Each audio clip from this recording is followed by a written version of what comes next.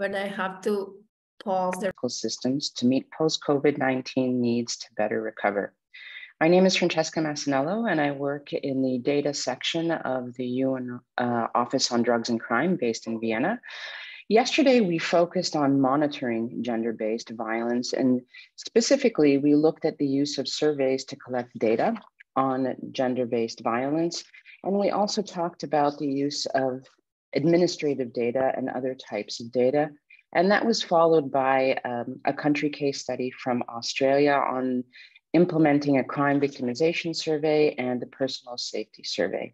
Today, we'll be focusing on counting femicides and innovative initiatives to curb violence against women.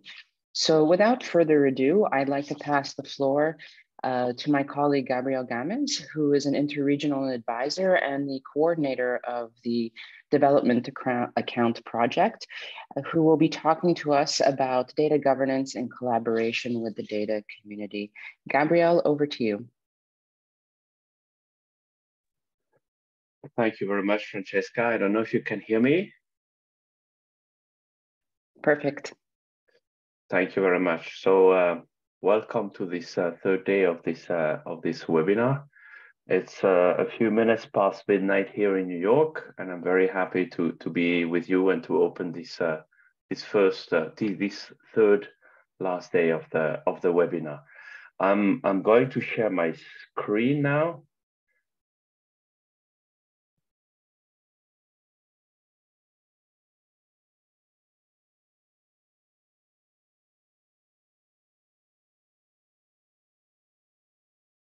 So very good.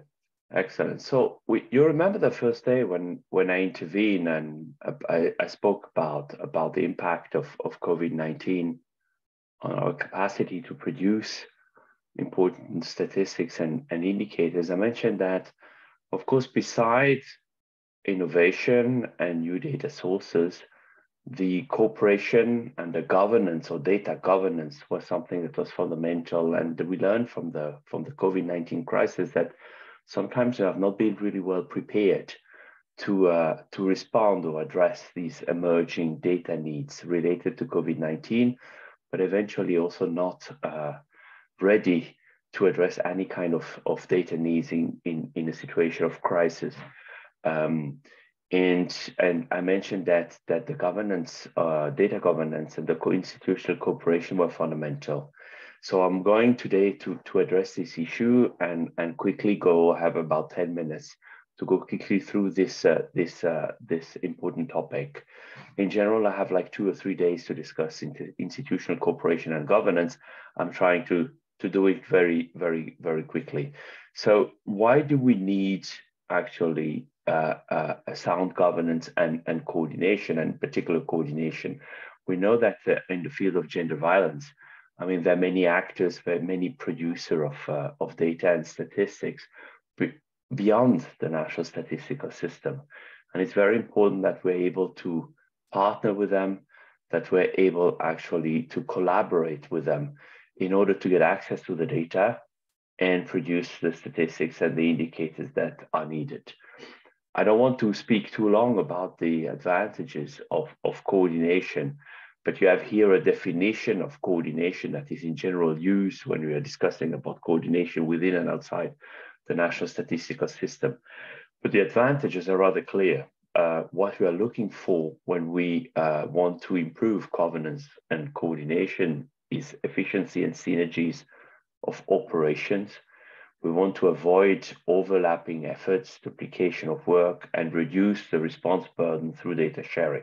It's very important that all partners producing data and statistics in a specific topic are working together and are sharing the data that sometimes already exists or share the data that they are collecting. Effectiveness is a, a, a key issue uh, and what we want is to address the demand for statistics in an organized and timely manner through the capability to jointly produce expected outputs. Uh, we have seen also with COVID-19 that sometimes we're more than one entity within a country producing or addressing the same demand. And of course, these overlapping efforts are not what we are looking for.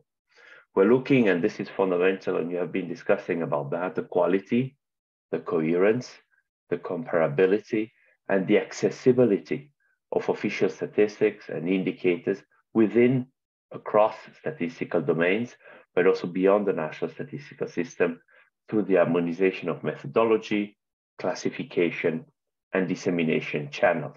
It's very important that all producer of data, statistics, and indicators in a specific domain are using the same definitions and methodology, not only within a specific domain, but who are used to work between different domains. So basically economy, environment, social, and gender statistics.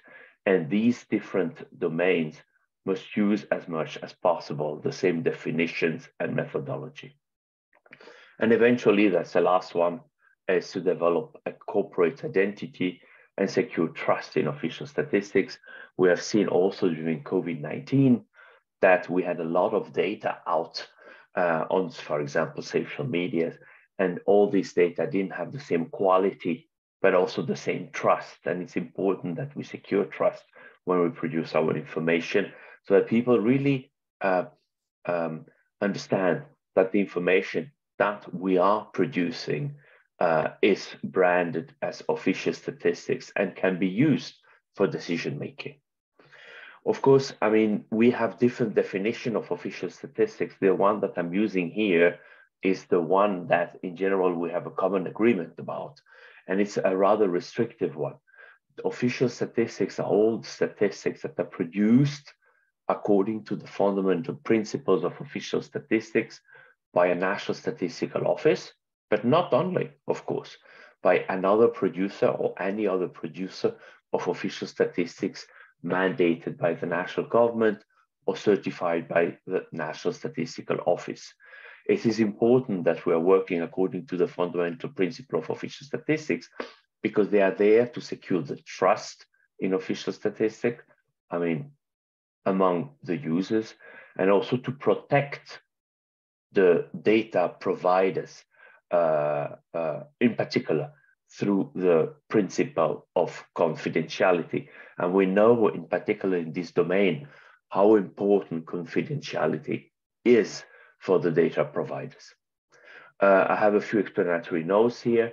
I mean, basically what we can say is that within official statistics, what we call also the National Statistical System, we have uh, the National Statistical Office, but also other producers of official statistics that are working according to the fundamental principle of uh, official statistics as adopted by the General Assembly. And here you have uh, uh, another slide with the delineation of the national statistical system. Of course, what we also understood is that in the past, this national statistical system was basically working according to their own sources of information, mainly uh, surveys and censuses that they were uh.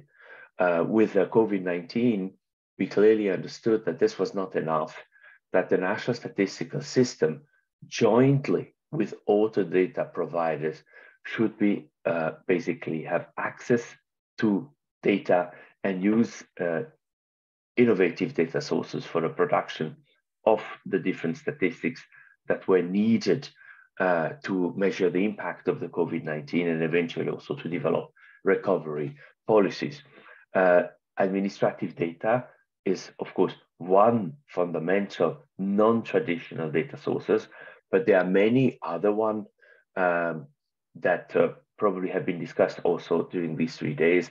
One is the citizen generated data, generated data, web scraping, big data, or geospatial information all these various sources of statistics, even if they have been collected initially for other purposes than official statistics, should be used definitely for the production of official statistics. Uh, here I have a representation of what we call the national statistical system and the, na the national data ecosystem. You have in blue the National Statistical Office, slightly lighter, the other producer of official statistics. And we have represented here all the other partners actually that are uh, um, part of what we call the national data ecosystem. And the objective is to uh, develop sound governance and coordination systems that secure for the National Statistical Office and other producer of official statistics uh, the access to the data, but also the cooperation, the collaboration, and the partnership with these other uh, producer of data that exist in every country and that in the past. Maybe you have not we have not uh, contacted or we have not been in contact so much with them. Um, here a few principles and resolution for coordination that are speaking for in favor of COVID coordination we have of course the principle eight of the UN fundamental principles of official statistics endorsed by the General Assembly that mentioned that coordination among statistical agencies within countries is essential to achieve consistency and efficiency in the statistical system. But we have also the General Assembly resolution on the SDG indicator framework that mentioned that National Statistical Office are the coordinators of the national statistical systems and that all activities of the NSS to be conducted in full adherence to the fundamental principles of official statistics. Here I want to be clear that when we speak about coordination, it does not mean that the National Statistical Office has to be authoritarian in the way of approaching other producer of, of data and statistics in a country. But when we speak about coordination, we speak more about partnership within and outside the national statistical system. And this is a point that is extremely important in that, not only in getting access to the data, but also helping others to improve the quality and the adequacy of the data that are collected, produced within a country for a respective uh, uh, statistical domain. So now very quickly, and I think this is uh, probably my last slide, is what kind of different coordination instruments and mechanisms we can have within a national statistical system, but also beyond the national statistical system. And you remember that we spoke about the national data ecosystem. How can we better work together and coordinate our activities? So we have, of course, and that's a number one, the coordination through normative and legal frameworks. Uh, we have different legislation in a country about statistics, about data protection, about privacy that must be aligned and in favor of uh, partnering between uh, producer of data and statistics within a country with, of course, data providers and taking into account the, the, the requests and the requirements from the users. We have the coordination through integrated statistical programs, a lot of emerging domains and, and we are discussing here about something that is emerging, that is a new statistical domain. I mean, gender violence statistics, I mean, needs to be coordinated through an integrated statistical programs. We should not have these different statistical domains uh, uh, included in different programs from different partners in, in the national data ecosystem, but as much as possible, all the data collection, processing, and dissemination should be covered by one statistical program. Also because when we have an integrated statistical program, we can secure the funding from the state budget supporting the production of this information. And, and, and of course, data sources are very important for the production of gender statistics, but we know how much resources are fundamental if we want to produce this information. We have the coordination through data acquisition, collection, and sharing that I've mentioned before, including innovative data sources. We have coordination through methodology, technology, and standards. As mentioned before again, if we want our statistics and indicators on gender violence to speak with other statistics that have been produced for environmental purposes, economic purposes, it's very important that the methodology that we are using is aligned with the methodology and the definitions uh, that are used for other statistical domains. We have the coordination through dissemination and communication of official statistics. It's better for the users, for example, when they have access to a statistic through one national portal instead of obliging them to go to different uh, uh, websites, for example, to extract uh, the data that are, are, are, needed for, for uh, decision making or other purposes. We have the coordination through quality assurance and branding. Uh, quality assurance, and in particular the UN National Quality Assurance for official statistics is also applying uh, to uh, gender violence or gender-based uh, statistics, and it's very important that we use as much as we can this uh, this quality assurance and branding that exists and have been endorsed internationally. The coordination through human resources, I mean training and pooling, and there again, the National Statistical Office has an important role to play as the center of excellence for the production and handling of, uh, of data within a country. I mean, it's important that the National Statistical Office not only get access to innovative data sources collected or produced by other actors in the national data ecosystem, but also that the National Statistical Office help them to improve the quality and the accuracy of the data, timeliness, disaggregation of the data they are uh, compiling. And then the coordination through international cooperation, cooperation and, and, capacity building. I don't want to say more about that since this is exactly the purpose of our webinar. And this is actually the very last um, slide that, uh, that I have on this topic. I mean, we have, and you have seen that, that we have a national statistical system, but we are more and more uh, working uh, or um, reaching out uh, to the national data ecosystem that is broader than just the national statistical system. For the national statistical system, the core of the national data ecosystem, we have a couple of, I would say, uh, regulatory uh, guidelines that exist internationally that have been endorsed. We have the UN Fundamental Principles of Official Statistics, already mentioned, the UN National Quality Assurance Framework that I also mentioned, we have in some cases also regional statistics code of good practices, for example, in Latin America and the Caribbean, in Africa, but also applying to other uh, or developed in, in, in other regions like, uh, like in, in Europe um, with the European Code of Good Practices. And then we have the national statistical legislation, we have generic law, and you have the link here. I think it's interesting to see this link. We have generic law for official statistics for the for Latin America and the Caribbean, and another set of uh, generic laws for um, your, um, ECE that have been developed for EC European countries. We have international guidelines, methodology, and nomenclature that have been endorsed at the international level, and as much as possible should be used um, when relevant, of course, should be used at national level. But beyond this set, I would say, of, of uh, guidelines and regulatory framework, we have other ones that are applying to the national data, uh, data ecosystem that are beyond the national statistical system. And we should keep an eye on these ones because they should be aligned with our needs and the needs of our users. If we miss the train there, the problem is that we can be as developed and advanced technologically uh, in using alternative data sources for the production of statistics.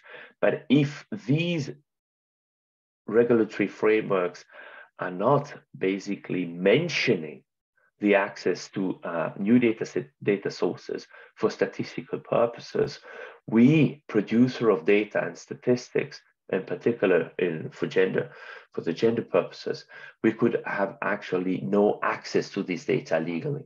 And these one are the Privacy and Data Protection Acts that are developed in many countries actually, but we know the European one, the Public Information Access Act, the Archiving Act, the Code of Data Ethics that exists in many countries, and other uh, legal and regulatory framework.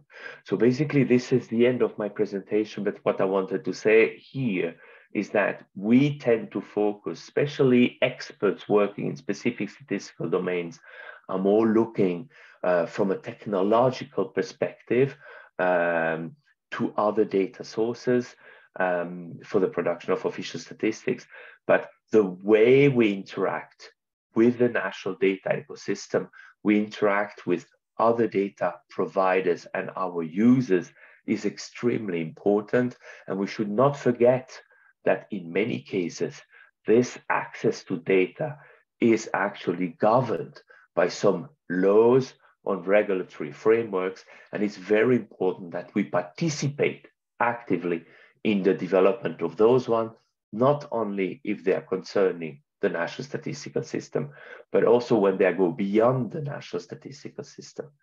Uh, this uh, uh, will secure or could secure or should secure um, a resilient and agile national statistical system so that in the future, if we're facing similar crises, we will be in a position to provide data and statistics that are needed um, uh, within our countries. That's it, uh, Francesca, for my presentation. Thank you very much. Wonderful. Thank you so much, Gabriel, for this uh, detailed presentation, for the contextual information, and so that we can all understand a little bit better where we're going and, and how we can work together on data. Uh, without any further delay, let me pass the floor to my colleague Sharita Serrao from UNESCAP. She's a statistician there and she'll be guiding us through the remainder of our day. Uh, Sharita, over to you. Uh, thank you. Thank you, Francesca. So once again, uh, welcome to everyone to this uh, third webinar, the final webinar of this uh, series. And I hope uh, you found the session so far uh, informative and insightful. So as uh, Francesca already mentioned in her opening, um, today the session will focus on looking at the framework of measuring gender-related killings of women and girls. So in particular, the femicide framework that has been developed by UNODC and UN Women. Uh, we also have a country case study lined up, uh, which is a case study based in India. So we will have uh, somebody speaking from there. And uh, we will also look into, I think this is a session that many of us uh, are awaiting, that is the session on looking at non-traditional data sources to measure violence against women or femicide. So without further ado, let me invite our first speaker for today, uh, Ms. Claudia Pontoglio, Associate Research Officer from the UNODC KOSTAT Center of Excellence. And Claudia will be presenting the statistical framework to measure gender-related killings of women and girls, also referred to as femicides. So over to you, Claudia.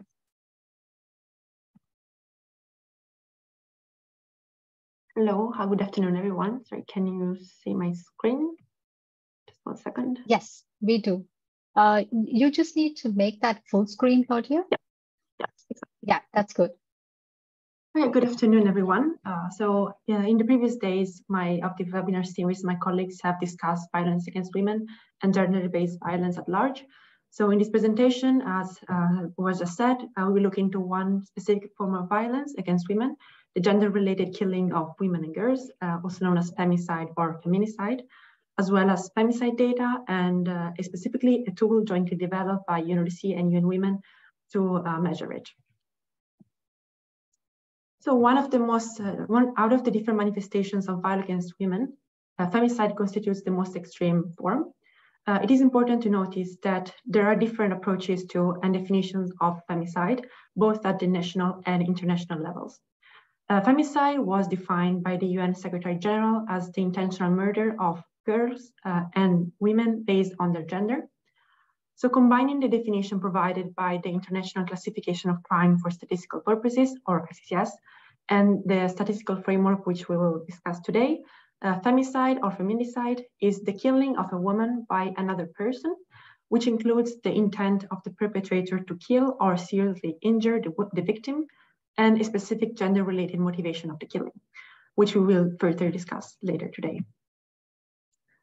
In 2021, uh, around 45,000 women and girls worldwide uh, have were killed by their intimate partners or from another member of their family, which means that on average, more than five women and girls were killed every hour by someone in their own household.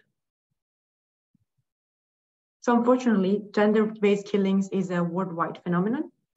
And as of 2021, uh, Asia was the region with the largest absolute number of killings of women and girls, uh, with 17,800 homicides out of 14,500 globally, whereas Africa was the region with the highest level of violence relative to the size of the female population of the, of the continent. The hardest thing about femicide is identifying the gender-related motivation behind the act. So the gender-related motivation refers to root causes such as stereotypes on um, gender roles, discrimination, and unequal power relations. For instance, it might be gender because of factors such as the ideology of men's entitlement and privilege over women, social norms, or the need to enforce gender roles over what is traditionally considered as accept, unacceptable female behavior. As follows, estimating the global number of femicide is very challenging.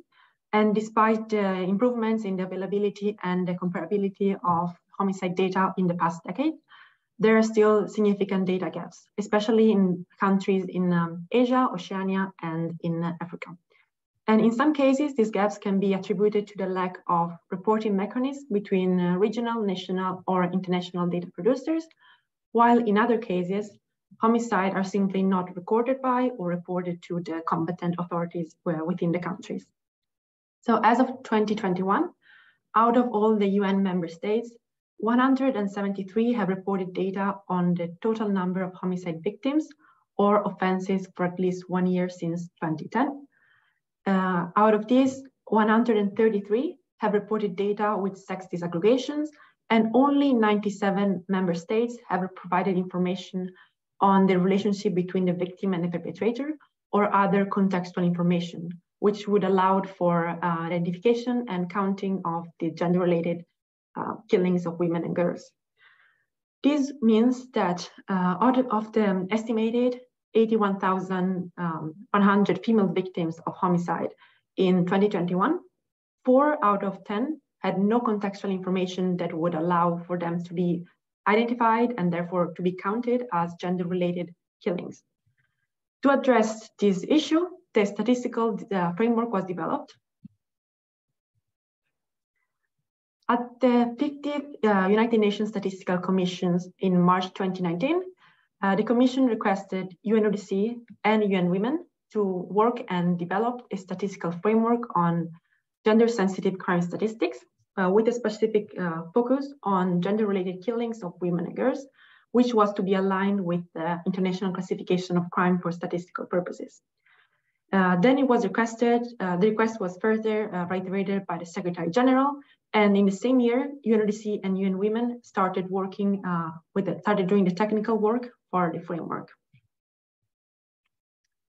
So following this internal work between the two agencies, uh, 54 countries were involved in global consultations, which included all relevant stakeholders within the country, such as National Statistics Office, police, um, Ministry of Interior, civil society, prosecution, internal uh, judiciary, international organization, um, human rights institutes, and health institutes as well.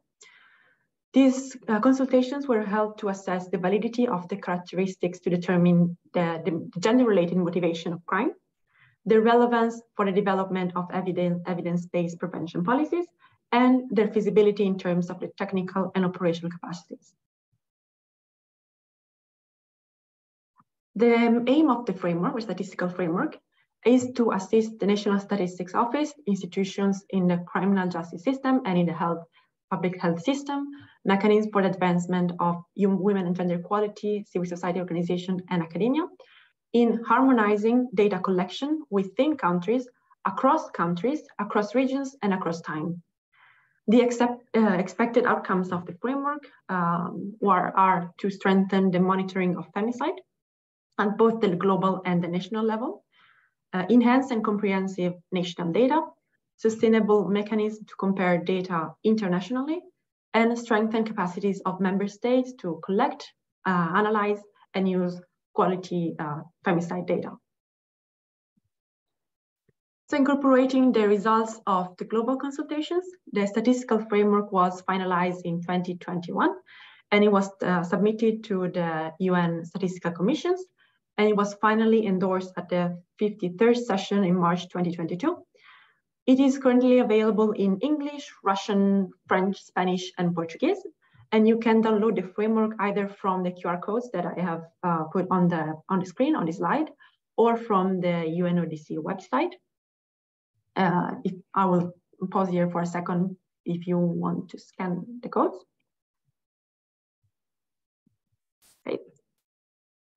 So uh, while the overwhelming majority of homicide victims are male, in the private sphere, uh, more, male, more female homicide victims are recorded. Therefore, whereas women and girls account for only 19% of all homicide victims in the public sphere, uh, it has been recorded that 56% of all the victims killed by an intimate partner or another member of the household are actually female victims. The figure uh, on this slide uh, places the object of the statistical framework, which is femicide, in the broadest context of killings targeting women and girls. Uh, which is divided uh, in this picture according to the relevance of the gender uh, in the killing itself. So the outer layer represents the killing of women and girls overall. The in-between layer represents the intentional homicide of women and girls, and the core level uh, represents the gender-related killing of women and girls. So as repeatedly mentioned in my presentation, uh, the main challenge is measuring the motivation, the gender-related motivation, which is behind the killing of women and girls. And it is what it is actually what identifies homicide as femicide. Uh, for this, after the technical work done jointly by UNODC and UN Women and the rounds of global consultations, some data blocks have been selected to collect and aggregate statistics on gender-related killings and to identify uh, the gender motivation behind such killings. So uh, in addition to killing of women and girls by intimate partners and by family members, which is based on evidence that these killings are due to gender-related factors, uh, another set of eight characteristics on the right side that you can see on the right side of the screen have been uh, selected as crucial con contextual information for identifying the gender-related um, homicides that have happened with a gender-related motive. These characteristics are related to the modus operandi or to the context of the homicide, and they are also considered, as I said, indicative of gender-related motivation for the killings. For instance, as uh, these characteristics, as you can see on the screen, includes the location where the body was disposed, uh, previous criminal records of the perpetrator, the amount of force that has been used, uh, the evidence of sexual violence, and whether the victim, victim was subject to illegal deprivation of liberty, some sort of illegal exploitation, or uh, the victim was working as in the sex industry. So the following uh, disaggregating variables detailed in the that are detailed in the statistical framework are not strictly necessary to identify the gender-related killings, but they are important for conducting comprehensive and detailed analysis of the killings themselves. Um, so with additional information of this nature to be collected uh, during the, um, be collected in additional to the homicide information, uh, it is possible to produce uh, policy relevant uh, analysis for identifying the drivers and the enablers of gender-related killings, as well as factors that could help prevent their occurrence. Uh, it's important to notice that also disaggregating variables are an integral part of the ICCS.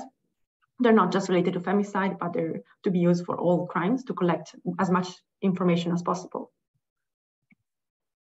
Uh, here you can see an example of disaggregating variables. Uh, for instance, you can see an example of gender, uh, the gender identity of the victim, sexual orientation of the victim, or pregnancy status of the victim with some possible categories. Um, it is very important to note that these aggregating variables are needed not only to identify the femicides as such and to therefore to count them, but they also provide more context to the killings and ultimately they help in developing targeted policies to address uh, this issue. Uh, finally, we'll talk more about it later in the session uh, with my colleagues at the end of this, uh, to, to, conclude this webinar. but these are the next steps for the framework itself. Uh, UNODC and UN Women have been have started working together uh, to support the member states in implementing the statistical framework. And this started by doing outreach and advocacy. And this, this webinar actually can be considered as a part of this advocacy that we have been doing to raise awareness uh, on this topic and specifically on the framework itself. Uh, the next step for the framework is piloting so uh, we're considering, we would like to pilot these countries, involuntary countries in all continents. And after this piloting session, uh, we will develop technical guidelines and trainings in order to provide targeted technical assistance to the member states. And finally, UNODC and UN Women will report back to the United Nations uh, Statistical Commission in uh, 2025. Um, again, so this piloting would be very useful for um, testing the, the framework and to, we would uh, UNDC and UN Women combined would help assist the member states in assessing the system and trying to help them like to implement this framework itself. Uh, that was all. Thank you very much.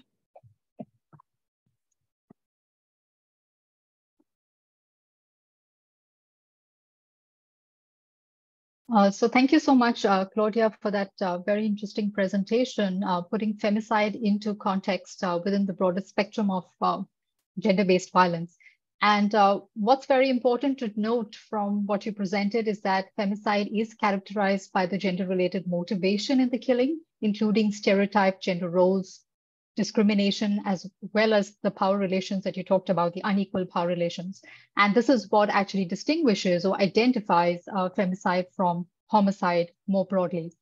So uh, uh, thank you again, uh, Claudia. And I think we will talk a bit more about the piloting uh, towards the end of the session today. And what I would suggest is um, we move to the next presentation now, which is a case study. And uh, since there are common issues, maybe uh, we'll take questions after the next presentation. So in the meantime, may I invite uh, our participants to think about their questions and put it in the chat box. And uh, also at this point in time, uh, in the chat box, my colleagues will be putting uh, a link, which is for a post a webinar survey, which is for basically for evaluation purposes. So this link will be put into the chat box. And uh, whenever you have a moment, uh, could you kindly uh, fill in the survey for us, which will basically give us some feedback on um, how you felt about uh, these three webinars that we ran uh, since the 25th of April. We would just like to get your feedback to, to make improvements for future sessions. Uh, so thank you in advance for your cooperation to fill that survey in. So without uh, further delay, let me now invite our next speaker. Uh, our next speaker is Dr. Harish Pathak. Uh, Dr. Pathak is Dean and Head of the Department uh, of Forensics, Medicines and Toxicology at the Seth GS Medical College and King Edward Memorial Hospital uh, based in Mumbai, India. And Dr. Pathak will be presenting to us a very interesting uh, and rather unique study. It is an autopsy-based cross-sectional study from Mumbai which, which basically provides insights on deaths due to gender-based violence. So over to you, Dr. Pathak. Thank you uh, very much. Uh, I'll just share my screen. Uh,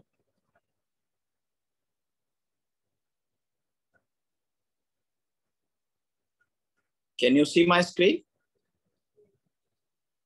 Uh, not as yet.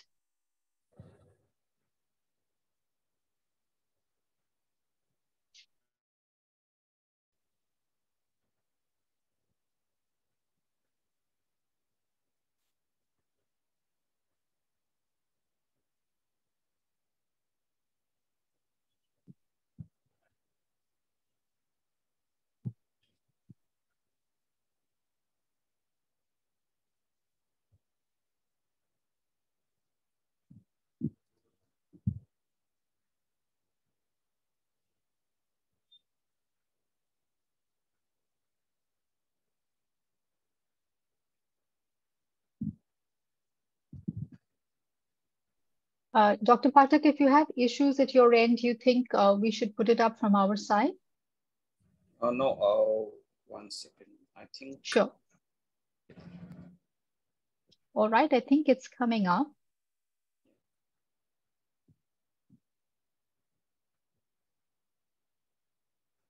All right. Um, no? Yes, we see it now. Thank you. So, thank you very much.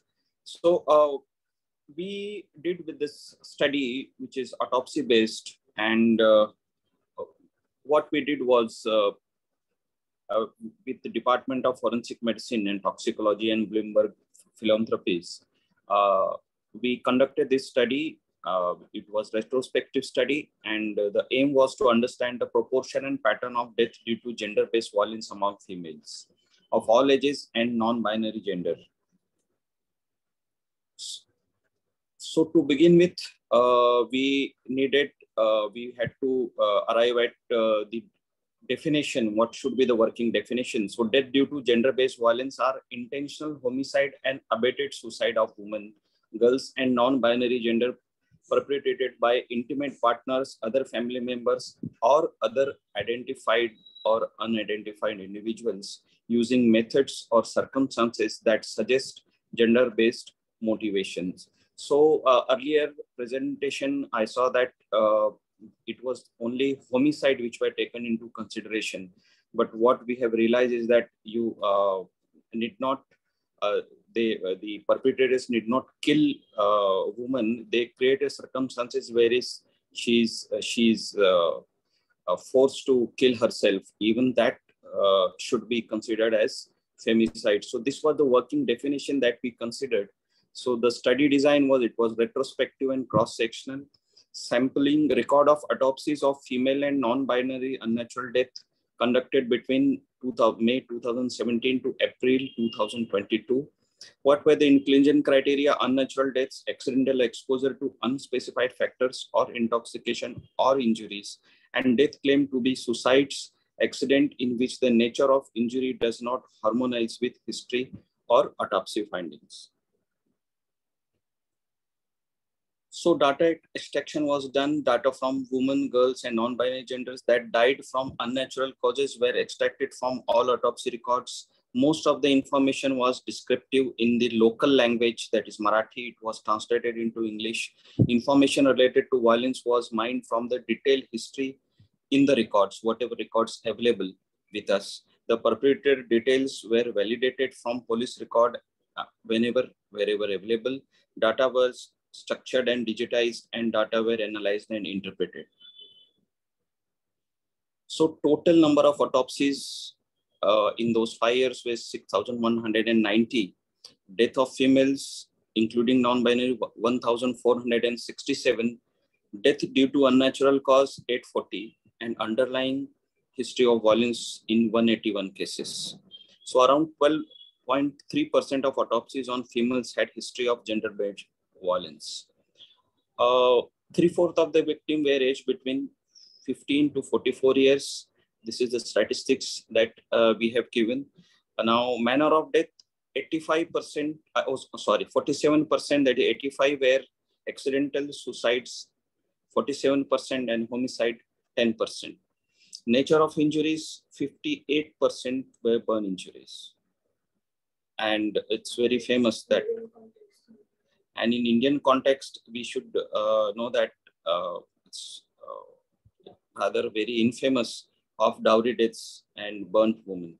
So 58% were burns, the 20% uh, hanging, 16% poisoning, 3% assault, and 3% jump from height.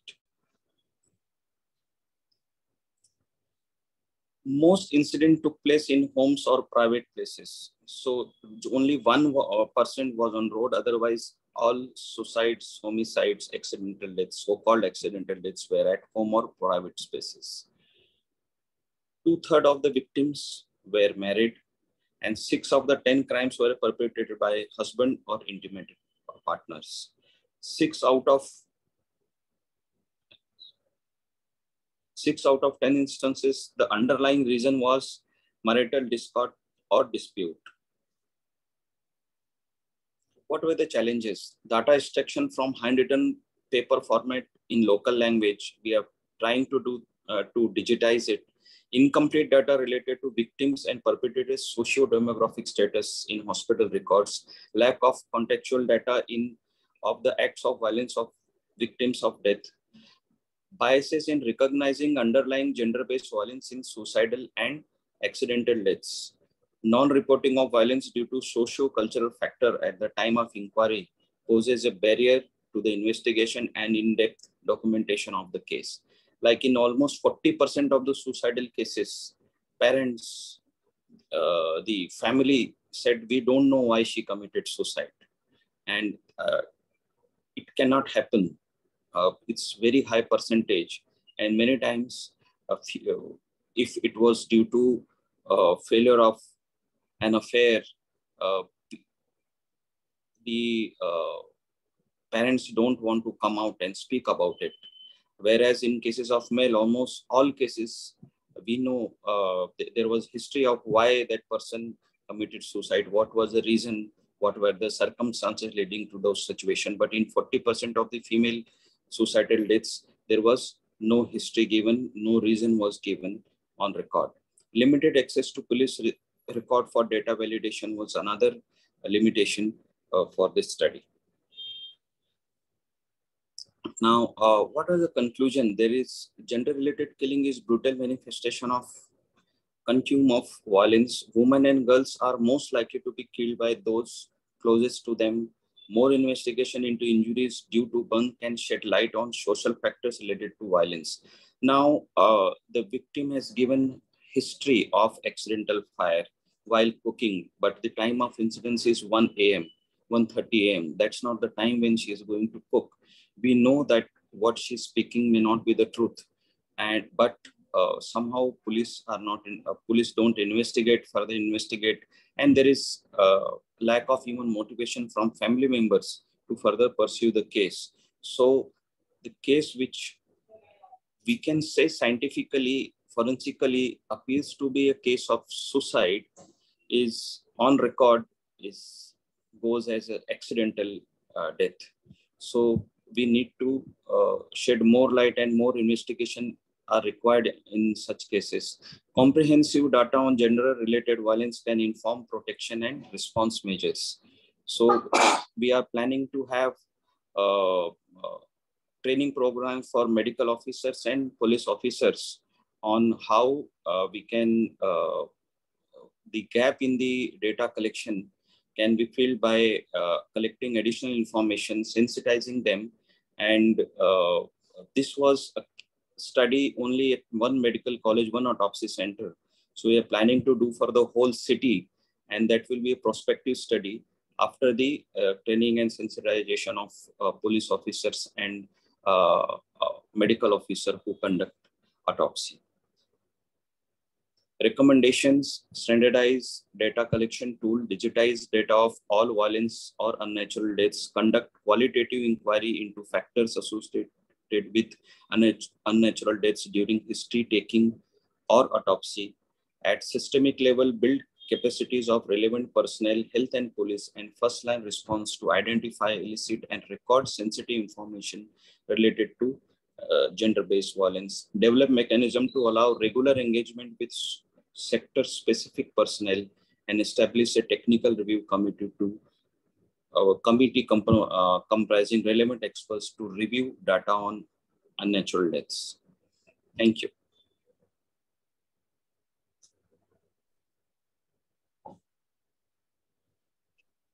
Thank you very much, uh, Dr. Pathak, for sharing this uh, case study with us, demonstrating how autopsy records uh, were used to identify cases of gender-based violence. Um, uh, we see the importance of contextual data in your presentation. So without contextual data, it's difficult to recognize and identify underlying cases of gender-based violence, and especially uh, since you spoke about cases of suicide and accidental deaths.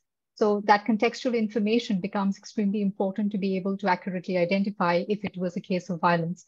Um, also, your last message there uh, that uh, there is need to strengthen administrative data collection and improve cause of death reporting uh, is very important in order to generate reliable estimates for gender-based violence. So with that, uh, let me now open the floor for uh, questions. And uh, I actually see one hand raised at this point. Uh, oh, there are two hands and we also have a question in the chat box. So let me start with uh, Naresh Shrestha. would you would you like to take the floor?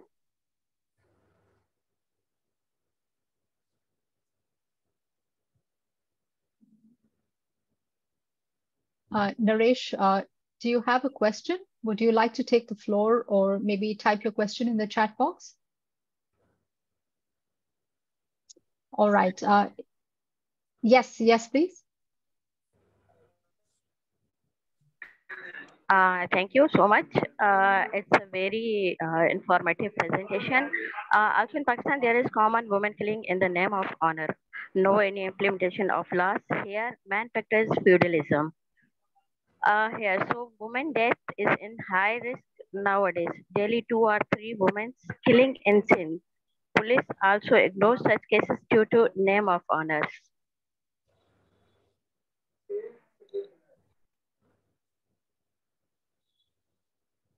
All right, thank you for that uh, intervention and uh, that information. I think this, the, these are issues that are common uh, in the South Asian countries. So what you're referring to is uh, is what Dr. Pathak was talking about, the, the honor killings and the dowry deaths, which are quite common to the cultural context uh, in South Asia. Uh, Naresh, would you still like to take the floor? I still see your hand up. Oh, sorry. It just happened. No okay. question, please. All right, thank you. Uh, Amber, Amber Nas.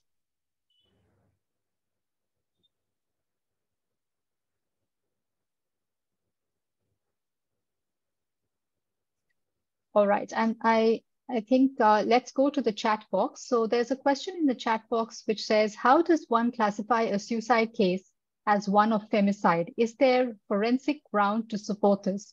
Can this be considered as a ground for the filing of a criminal case for domestic violence? So Dr. Harish, is this something you can address? Yeah, certainly. Uh, I will give few examples. No worry, no. Hello. Hello, Assalamualaikum. Hello. Uh, yes, please, Dr. Pathak, please go ahead. Yeah. So uh, there are cases wherein uh, the history is that there was accidental fire at home while cooking uh, and uh, when patient is brought to us it's 90% burns and from head to toe and this cannot happen without the use of fire accelerants like kerosene or something uh, but she gives this history because while she's being brought to hospital her in-laws will say that, okay, if you tell that uh, you committed suicide because of the torture from your husband, husband will be behind the bar, what will happen to your kids? Who will look after them? So she's emotionally, you know, uh, blackmailed or whatever, coerced, and she gives false history. And we have seen this multiple times. So forensically, we can see very clearly that what she speaks does not make the uh, makes any technical sense, scientific sense. Another, like while cooking, the what was the time of uh, incidence? 1 a.m., 1.30 a.m. Nobody cooks at that time. That's not the time of cooking. So, as well as the pattern of burns. So when you see that, you can easily make out that oh, it's not accidental. It is definitely suicidal. But she's giving the history of accidental. And if we further in uh, if parents do give a complaint and we do further investigation, the uh, victims have changed their statements later on.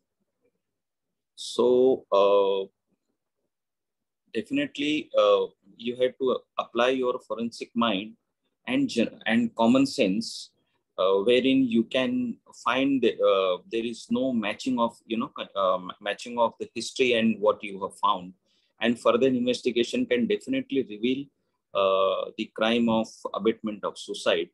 And there could be multiple reasons for that. Thank you, uh, Dr. Pathak. Uh, uh, so colleagues, let me clarify that we are actually now taking questions uh, on both presentations, on the presentation from Dr. Pathak and also the presentation made by Claudia earlier. So please feel free to put your questions in the chat box. I'll just move to the next question from Jessica Gardner. Um, she's uh, asking Dr. Pathak, could you please say more about how the underlying reasons, example, marital discord, for women's death were determined in your study? There is uh, there are clear cut uh, complaint from the uh, from parents or uh, family members of the girl that there was demand of dowry okay that uh, which we could not fulfill. And that was one thing. She was being tortured for various reasons maybe for giving birth to a girl child. They wanted male child. Number uh, so the, whenever there is clear cut history of uh, history or complaint from the uh, from uh, parents, then the police arrives at this conclusion and then accordingly uh, we have also take, uh, actually we have extracted data from the police records. So we took it as a uh, you know marital discord. Thank you the next question that I see here is perhaps for Claudia. Uh, this question uh, says that, have any gender-based variables been identified for the 81% of male being victim of homicide? To what extent it's accurate to attribute the 19% of female victim of homicide as cases of femicide? Uh, Claudia, is this something you can address? Yes, I think my colleague David can take over this question if you're there. Okay. Yeah. All right. Um, good morning. So um, regarding the uh, question on the 81% um, of male victims. So yeah, first of all, let me just remind. So we are producing these estimates um, here in UNODC in Vienna based on uh, data reported by countries or data that uh, we find on uh, country websites. Um, so globally, we estimate that uh, about four in five homicide victims are males. Of these uh, homicide victims, um, actually most of uh, male victims of homicides are killed outside of the house. So about 90% uh, are killed by perpetrators that are not family members or intimate partners. And only 10% are killed by, by family members and intimate partners. Now, when we look at homicide victims, um, female homicide victims, um, about, uh, I think it's 56% of uh, female victims of homicides are killed by the intimate partner or family members. So we are using that as a proxy uh, for femicides. But if you recall the slide presented by Claudia, um, femicides goes beyond uh, killings by intimate partner and, uh, and family members, uh, where there are a few other reasons. the victim was, for example, there was a rape before before um, the killing, or if uh, the victim was uh, targeted because of um, membership in a specific uh, organization uh, and, and other reasons.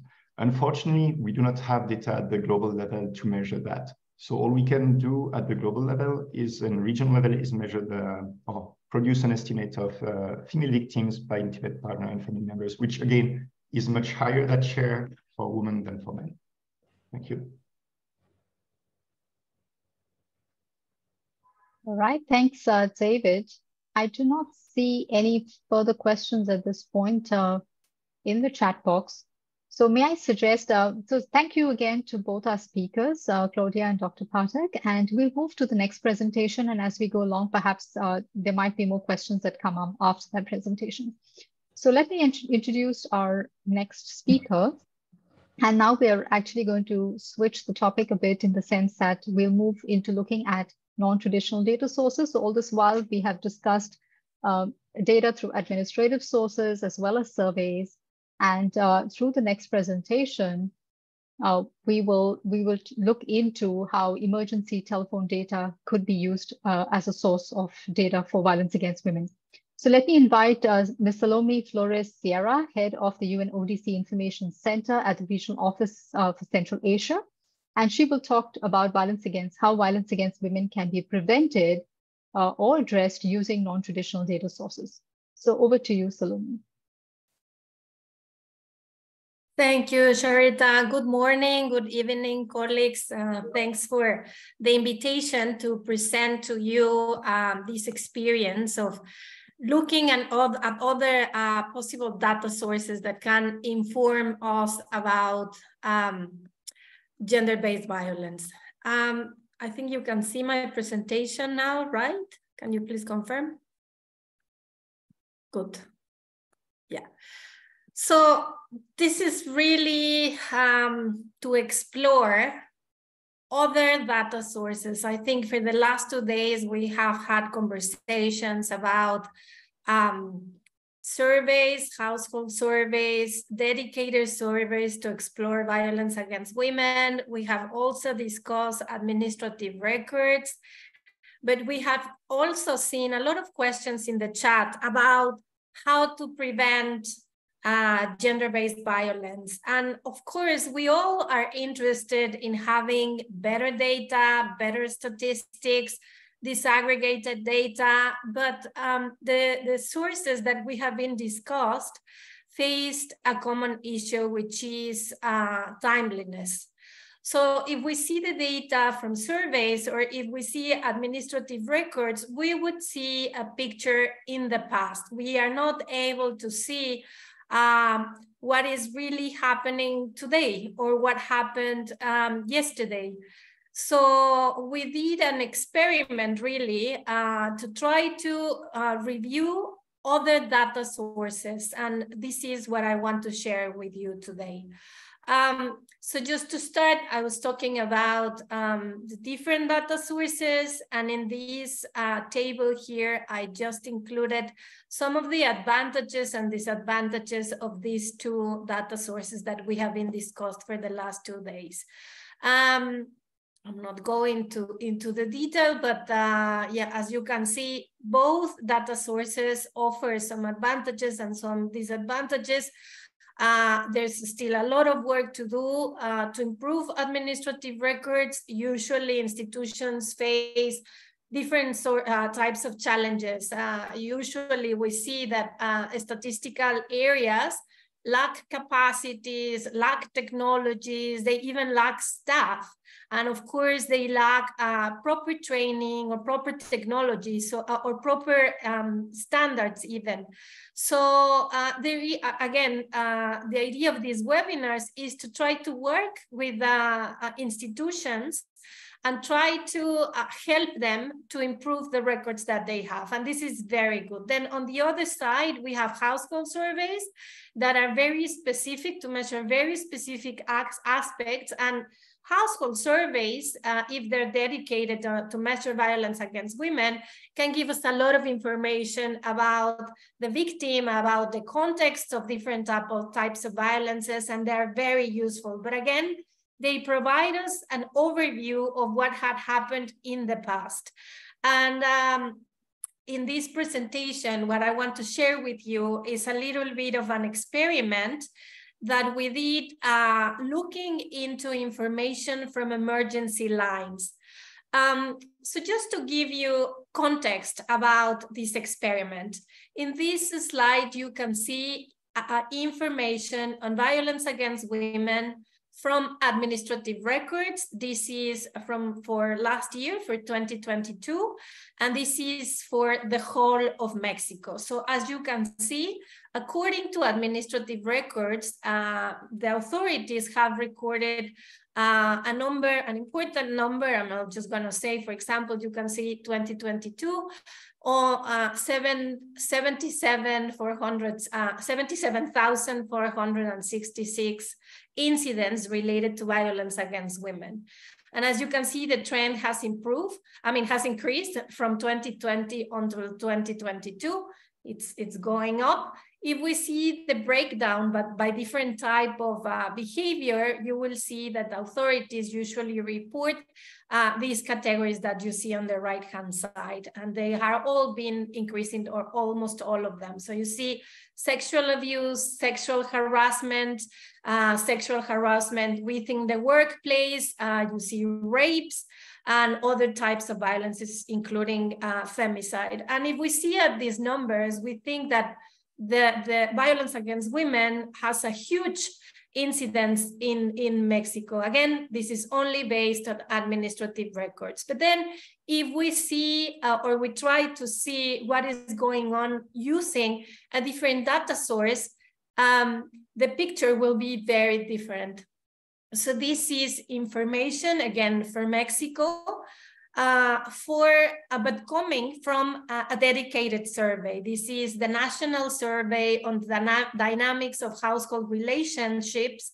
And this is a survey that is conducted every four years by the National Statistical Office of Mexico. So you see that for 2021, um, half, almost half of the population in Mexico was a woman.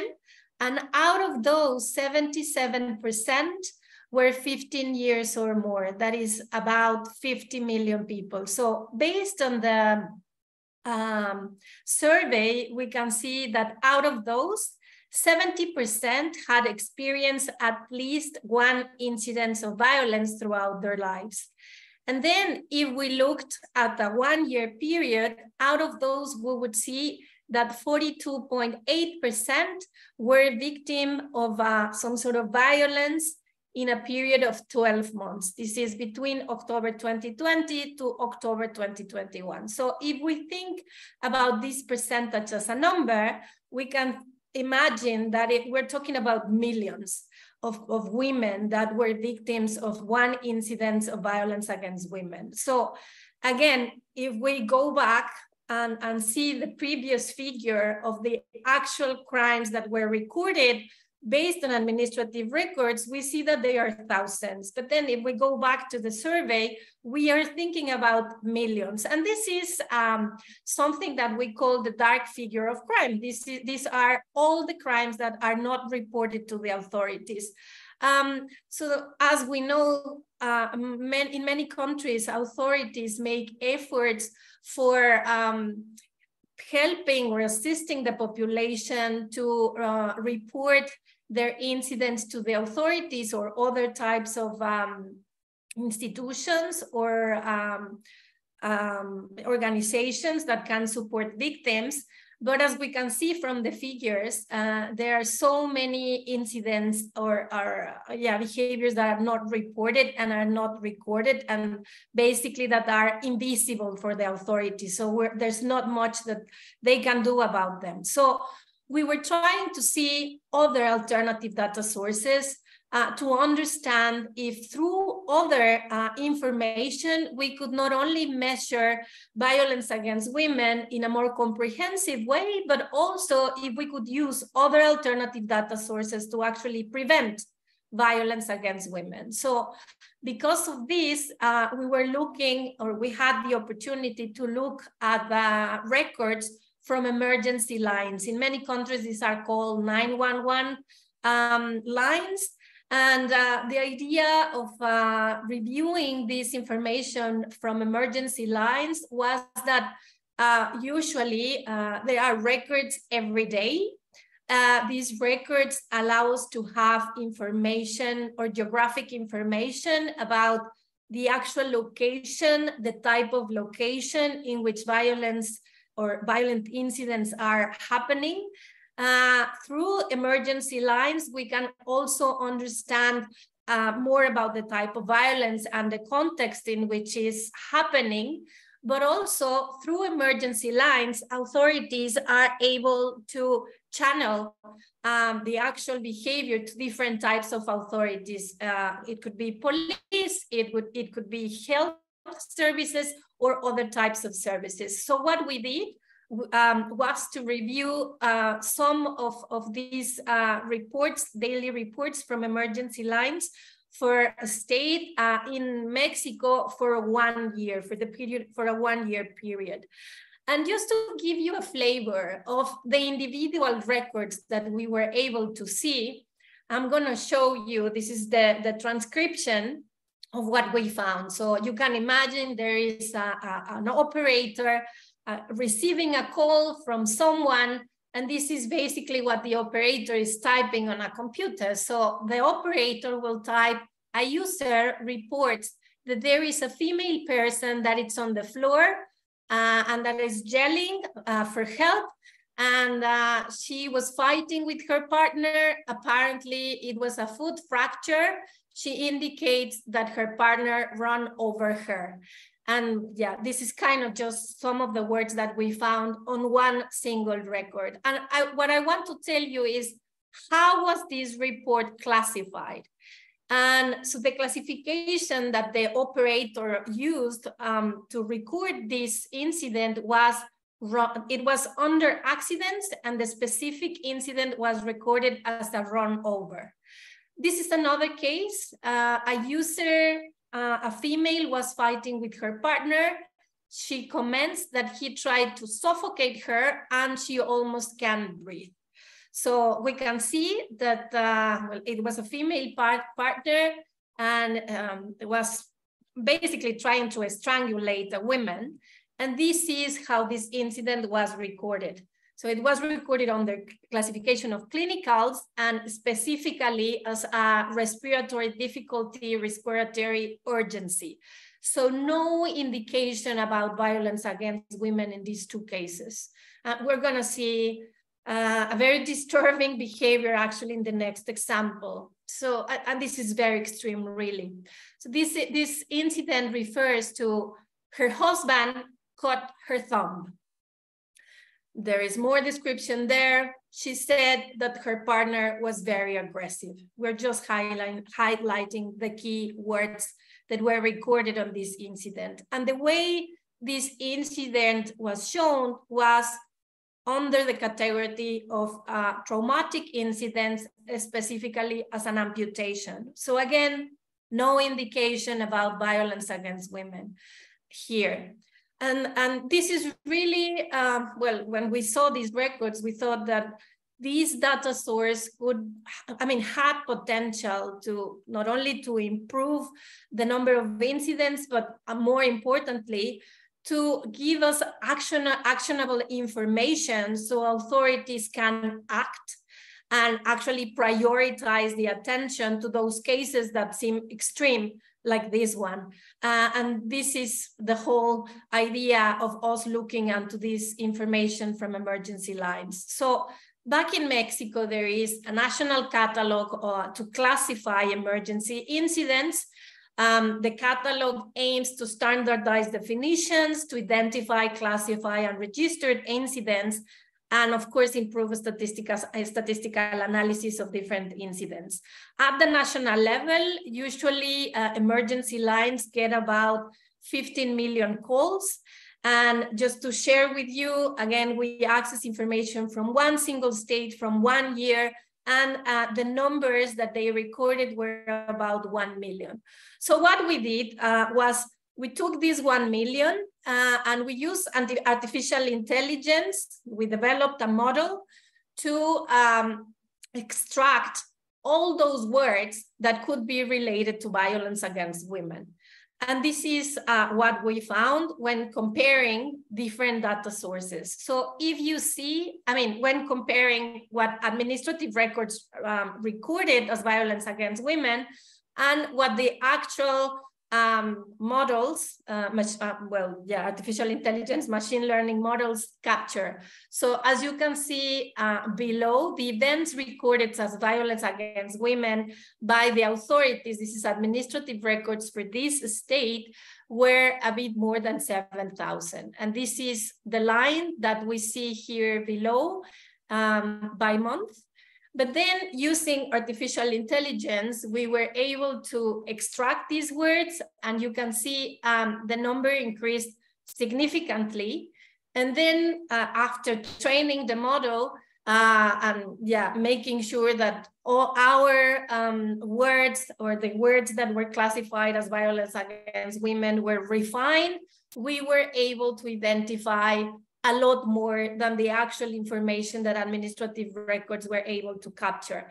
So basically, this is just an example of how we can use technology not only to measure uh, um, violence against women in a better way and in a more accurate way, but again, to get to be able to extract information that authorities can use uh, to prevent violence from escalating. As you can as you saw from the examples that i that i shared if authorities um, have information on, on those incidents and record those incidents properly they could be a follow-up of these cases and violence can be prevented from escalating.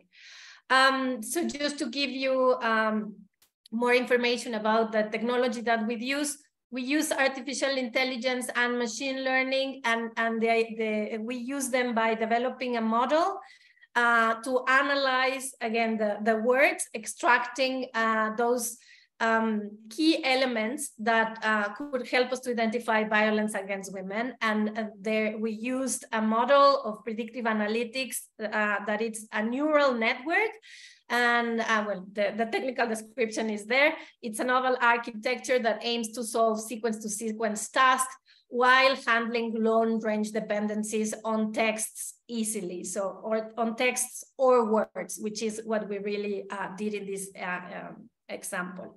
So how can we use emergency lines records to monitor and prevent violence to prevent violence against women? Basically uh, we believe that through this project we can actually work with countries that can be interested in uh, working with us to improve their emergency call records to identify cases of violence against women try to use artific artificial intelligence to detect those cases that are riskier and uh, using these technologies to prioritize, to prioritize attention of those cases in which uh, violence against women may escalate. And uh, I think with this, I'll stop here and looking forward to your questions. Thank you, Sharita.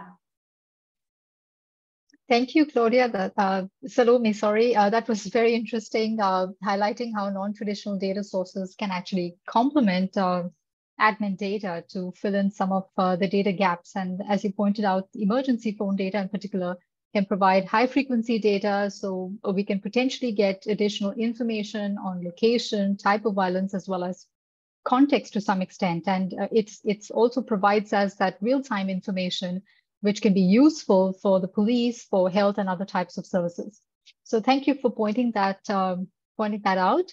So let me open the floor very quickly for uh, any questions we have at this time.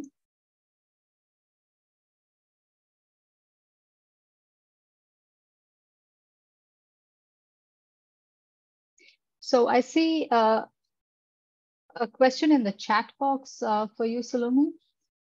Um, I'm not sure if you can access the question. Uh, don't you think that don't you think registering of violence against women has increased due to awareness in society and the governments? Governments resolve to implement international treaties. Increase in administrative data regarding gender-based violence cannot necessarily be an indicator of increasing trends in gender-based violence. If the statistics of states is reflected on at the international level, branding the nation's bad people, the governments will start fudging the figures or refusing to register the cases. Mm-hmm. What is your opinion on this?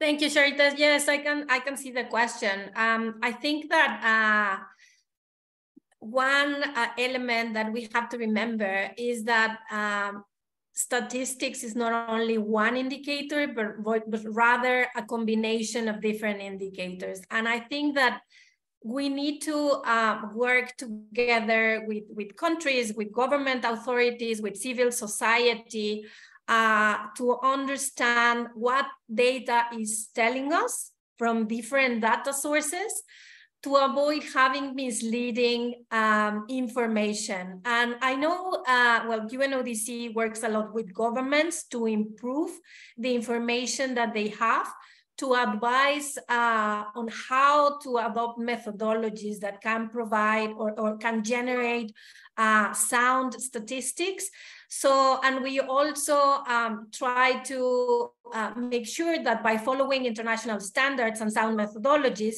the information that generate, they generate or may generate is accurate and, and transparent as well. Uh, this is not easy, but what I'm saying here is that as UNODC and to also together with other agencies, we try to advise uh, countries on how to produce data in a way that is transparent and that is not um, misleading for, for, for everyone, the society as a whole and the, and the, and the world in general. But also, um, I think it's, it's also important to um, bring other communities to not only uh, check at the statistics, but actually review how these statistics are collected and validated and disseminated. So we are all uh, sure about what, what data is telling us. And again, we have to make an effort or not only understanding the statistics, but also looking at different data sources to have a better picture of violence against women. And I agree. I think uh, we have, after the pandemic, we have more um, awareness of, of reporting. And in a way, that's good because at the end of the day, statistics help us to make uh, visible what it's invisible. And only if it's visible, we can address it and try to prevent it. Thank you. Thank you very much. Um, I, I, think there's just one more question there. Uh, are your AI and machine learning tools open source? Can others adapt these in, in other countries? Yes, uh, we used open data source, I mean, open source uh, tools. And the whole idea of these webinars is also to try to identify volunteer countries uh, so we can apply and transfer uh, this technology so they can use it for, for this purpose of uh, monitoring and identifying violence against women and prevent it. So if there is an interest, we will be happy to work uh, with, with you or with anyone uh, that is willing to, to um, have us um, transferring this uh, exercise and, uh, and implementing it for using it. Thank you.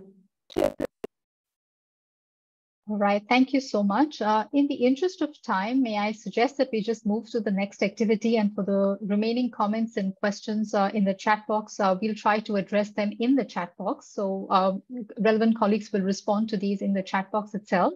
So uh, the, the next thing that we have is that we've just lined up a small activity for you that is a, a quiz that we will put up uh, on the screen. And uh, this is just to make the session a bit more interactive and to to basically clarify our understanding on some of the key concepts and issues that we have discussed over the last three days. So we invite you to actively participate in this quiz. It's very short, just 10 questions, and uh, hopefully we can go through this uh, very fast. So may I invite my colleagues to kindly put up this uh, quiz on the screen, please.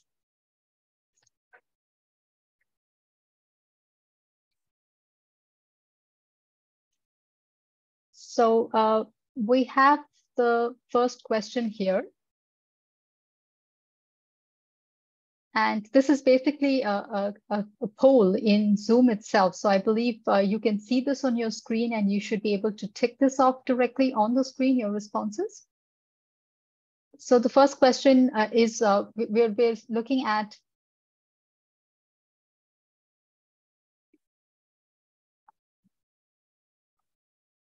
All right. Uh, just, just a moment, please. With regard to the technology, I'm just checking.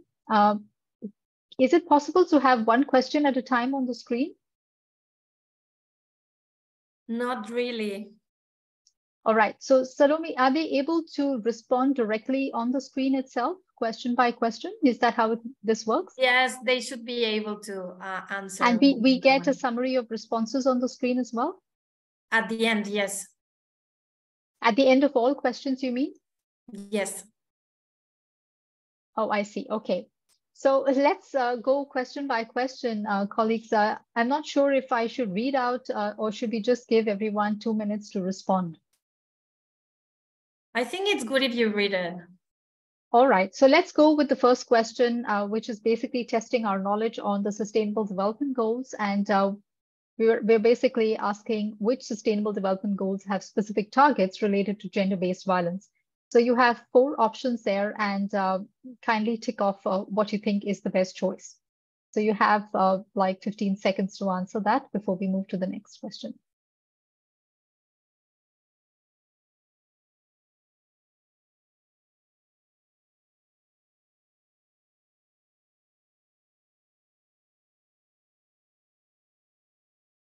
So let me now move to the second question, which basically asks uh, gender-based violence.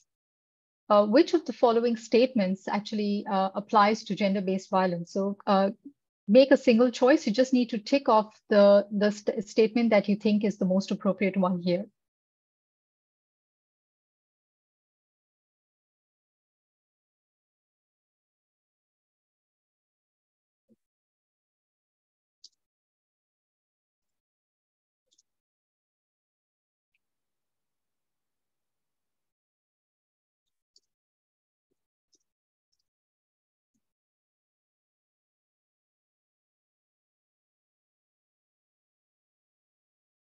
All right, we move to question number three.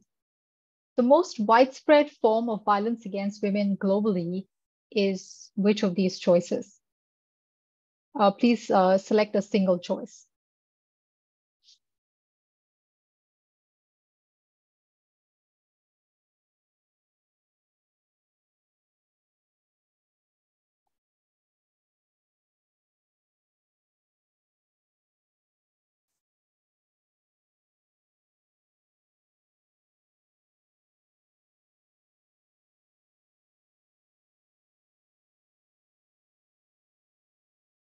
Question four, prevalence in the context of violence means which of these? Again, uh, you're expected to tick off the best option here.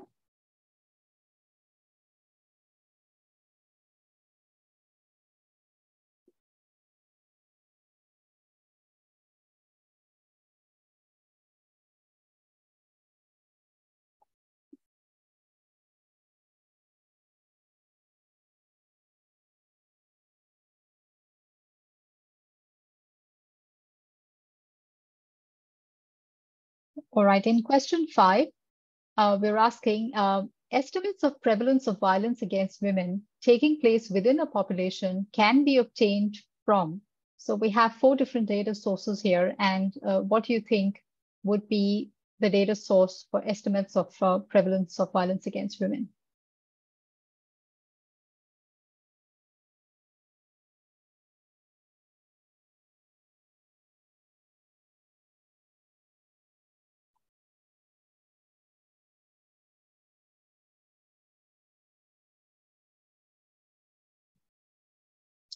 Question six is also related to prevalence, uh, which basically asks the time periods used for computation of prevalence of violence are which of the following. So here it's a multiple choice option.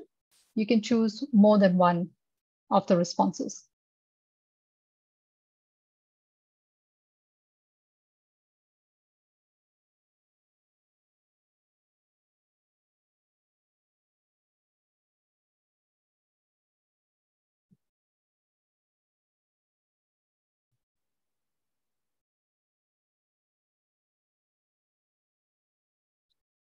Okay, we move to question seven.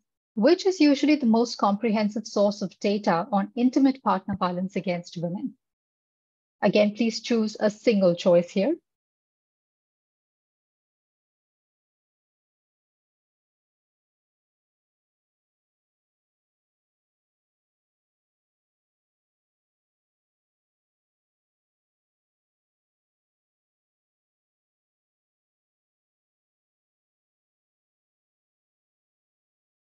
Question eight, femicide includes or is characterized by which one of the following statements is correct? Please tick one statement.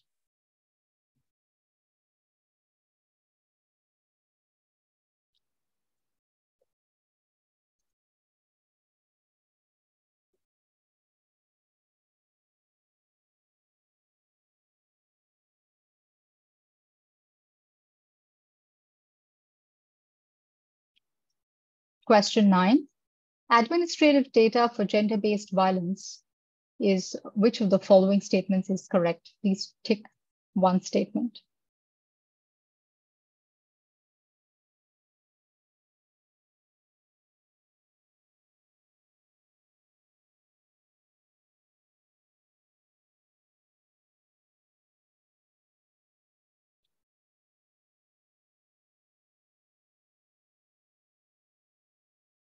And the final question, for which of these is population-based survey data not the most suitable?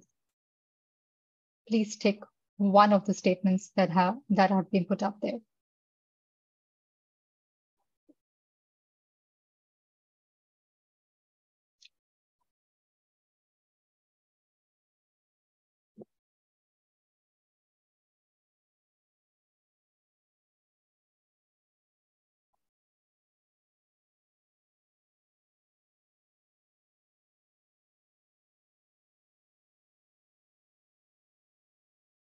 So if everyone has uh, finished uh, voting, uh, is it possible to get the results uh, on the screen now?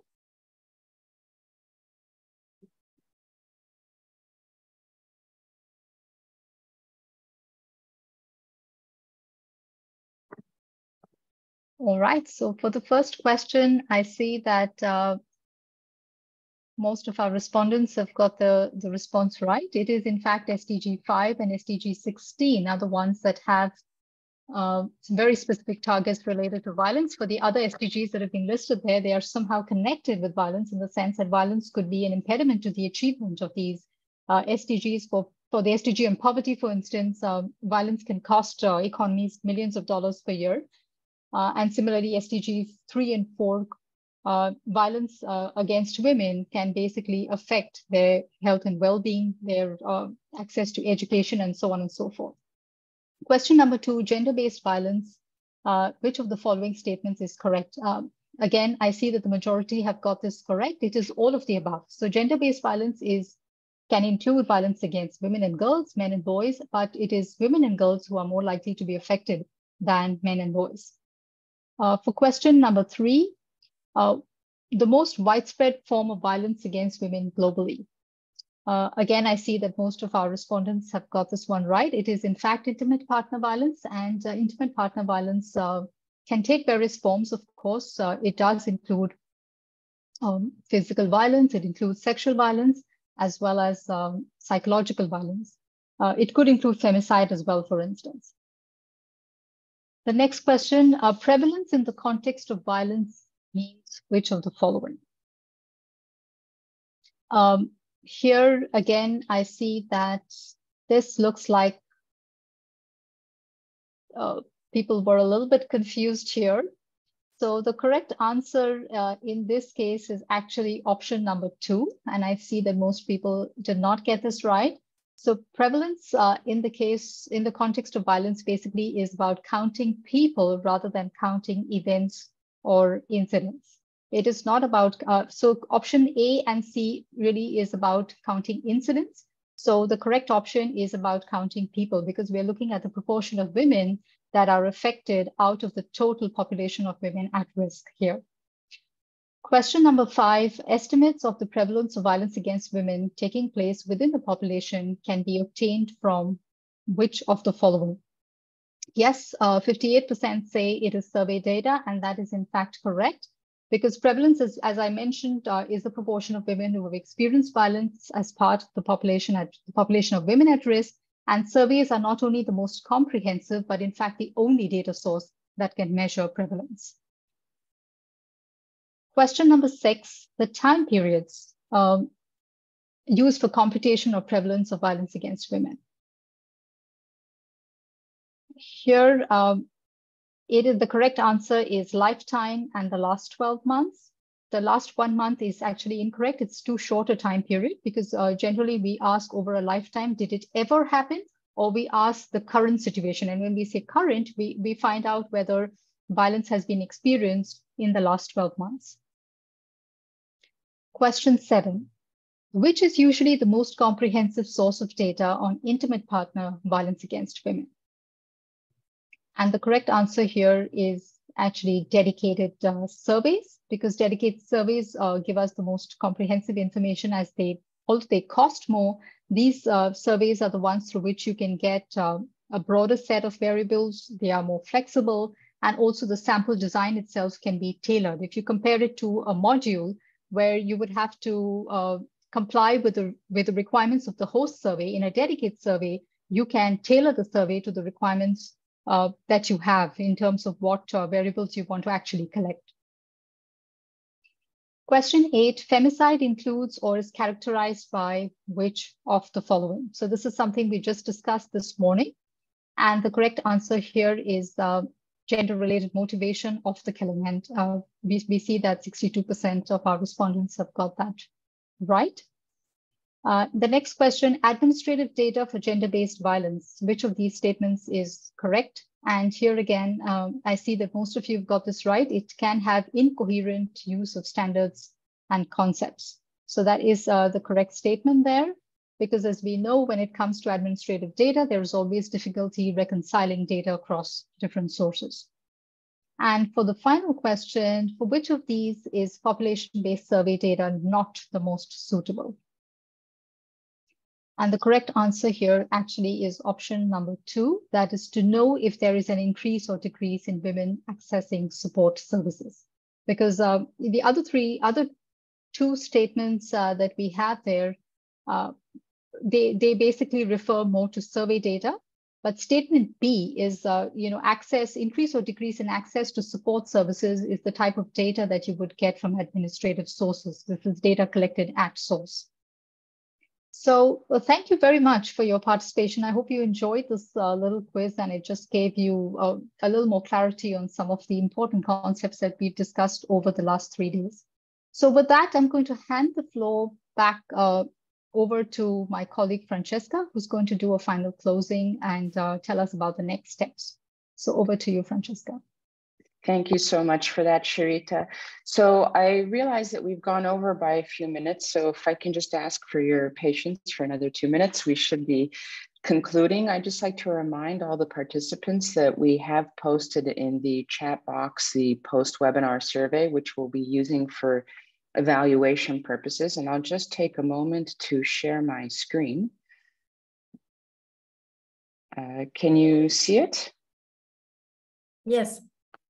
Okay, perfect. So I'd just like to talk to you a little bit about the next steps in this development account project. So as mentioned on the first day by our colleague Gabriel, we'll be identifying 15 target countries.